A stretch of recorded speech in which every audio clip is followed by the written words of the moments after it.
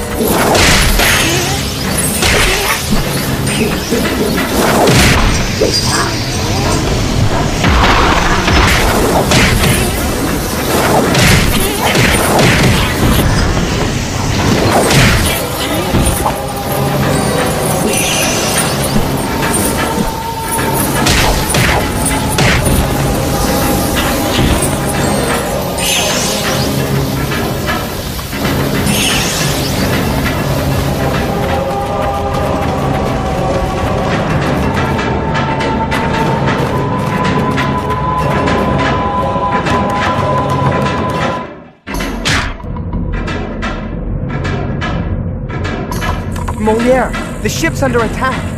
We have to get off this thing.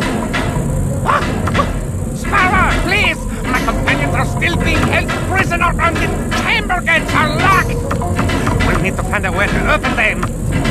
Okay, sit tight. I'll come back for you.